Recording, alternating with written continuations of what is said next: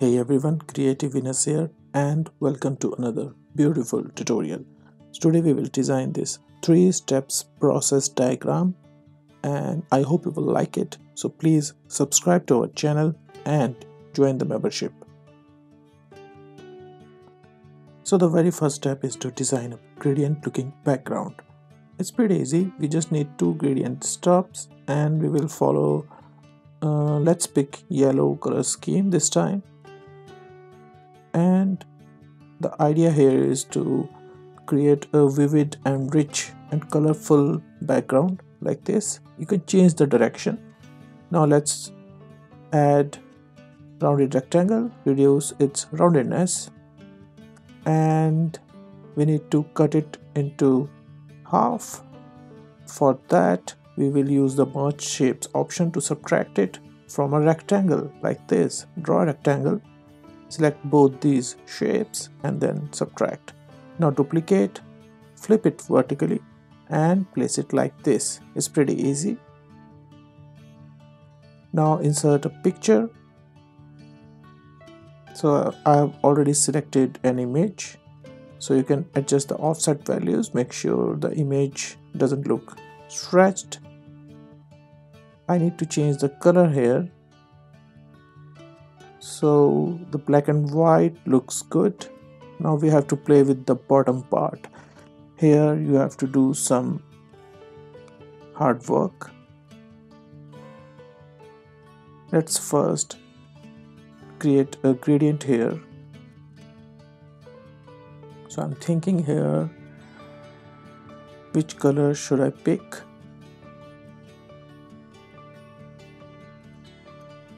let's pick this one. So the gradient type is radial here. And second color we have used is towards the red color. And then duplicate this layer. Add one more gradient stop. And we will add a flavor of pink in the middle. And for the first and last gradient stop increase the transparency to 100% and you will get an effect like this. Slightly adjust the transparency for the middle layer as well. Now again duplicate. So this will be the third layer. In the middle one we will change the color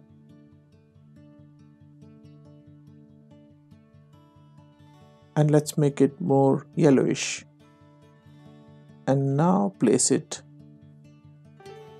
And now you can adjust the transparency. Now again duplicate. And change the color to purple. And let's place it here. And you have to move the slider adjust the transparency to get some nice effects. So I'm just doing these things randomly and testing at each step and seeing how does it look. If it looks fine then only I proceed further. So that's how you have to do. Now we have four gradient stops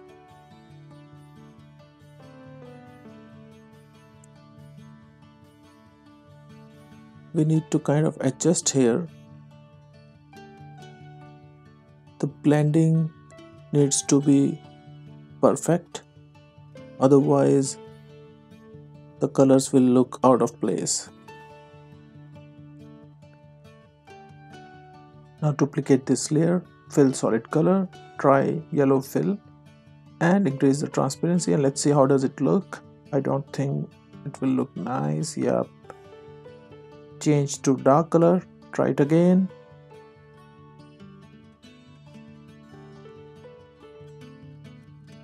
So now it looks fine. Let's adjust the transparency and then duplicate this layer. Change the color to white. Keep transparency at 0% then insert a rounded rectangle and draw it like this slightly change its angle and then we will subtract it from the white shape like this. And we will get a shape like this. Place it here. Increase the transparency to like 80 to 90 percent.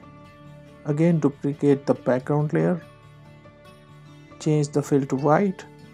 Reduce the transparency to 0 percent. Again draw around a rectangle slightly change its angle. This time change the angle a bit more as compared to last time. Again subtract. And you will get a shape like this. Increase its transparency. And now you can see. Now select the background layer here. And change the gradient fill. Fill blue gradient blue colors on both the gradient stops and increase the transparency on the first gradient stop and keep it like 0% on the second but on the first keep it 100% and now you can see the shape looks much much better now. And slightly adjust the transparency values here as well. Now let's insert the text part. It's pretty easy. Insert the text. I have used Questrial font. It's on Google Fonts. You can download it from there. So it's the title of the information card. Duplicate it. And here you can place the description or any information you want to present be it number or some values icon anything you want to showcase. As I always say in all my videos focus on text styling as well.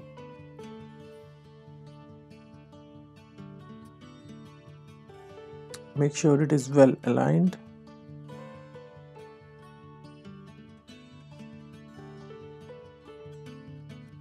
so meanwhile if you are watching this video and you if you haven't subscribed then please hit the subscribe button and also hit the like button. That will really help us and support us. Now insert this rounded rectangle and place it like this. And now you can add content in this call to action like explore slide number 15 or discover more learn more. Anything you want to add it will be linked to an external platform or, uh, or an internal slide. This is how it will look.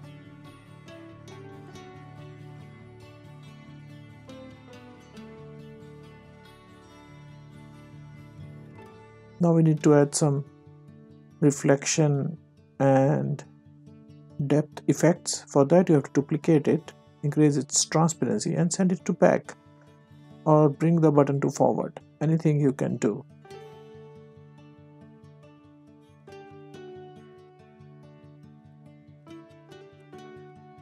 So this looks really nice.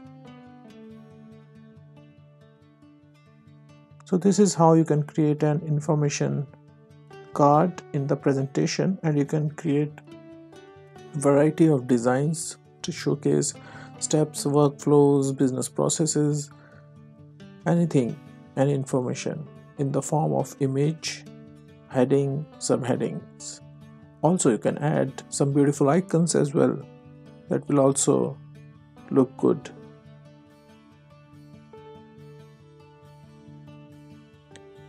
So I have placed a random icon. Reduce its size and place it here like this. I think we can keep it towards the top right like this. Here it will get much better visibility. Now select all the items press ctrl plus G that will group the items together. Now you can add some shadow here for shadow you can move these sliders then you can add reflection effect as well increase the blurriness reduce the size slightly change the transparency as well. And you can see it looks really nice and it has this 3d effect. Now you can create three or four or five steps process depending upon the slide area and the information you have and just change the text. In fact you can change the colors as well background colors. That will take much more time. If you want to save time keep using the same colors and just change the text and images and calls to action.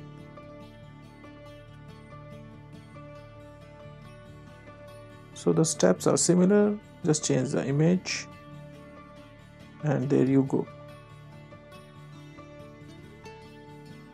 adjust the offset values offset left and right to make sure that the image doesn't look stretched. Similarly change the image on the third information card. So you can be creative here and try different shape styles. So this is what I thought. You can try different things. You can add some circles some you know different shapes like hexagons or something or you can create a new kind of shape by merging few shapes.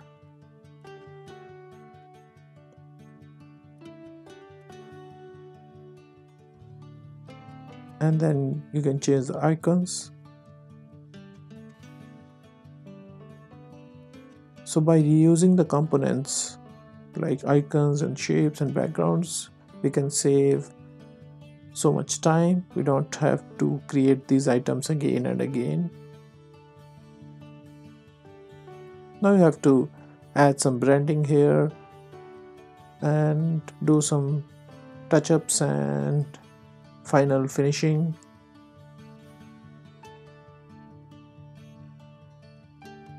Now let's add some more elements for aesthetics and depth effect in the background like this. Remove its outline fill white color increase the transparency and send to back duplicate it and place it like this. And send to back and I can see it adds more depth in the background.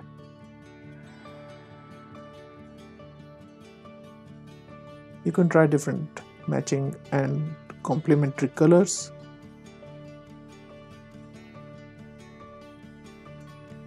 Now let's add the main text here. The text of the the title of the slide. So here we are writing three steps process. In white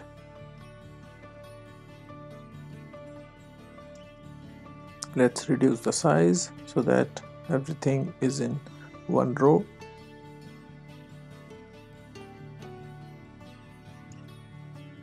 Duplicate. Process always try to reuse the components then creating a new component. Then place the items here make sure everything is aligned. Now let's do one more thing. Insert this rounded rectangle this will act as a container. Change fill to no fill only keep the outline white color. Slightly adjust the text in the middle of the container.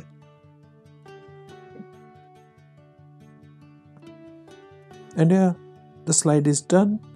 You can add branding at the top the brand name or the title or subtitle at the top.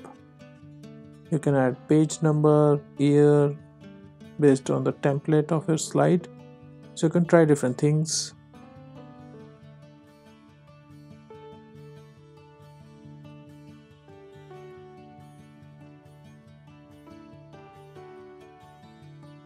so meanwhile if you have liked this design if you are still watching this video so please subscribe to our channel join the membership and you can also share this video.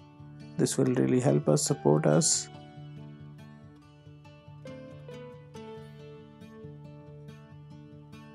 So this is how it looks. Here is the final output.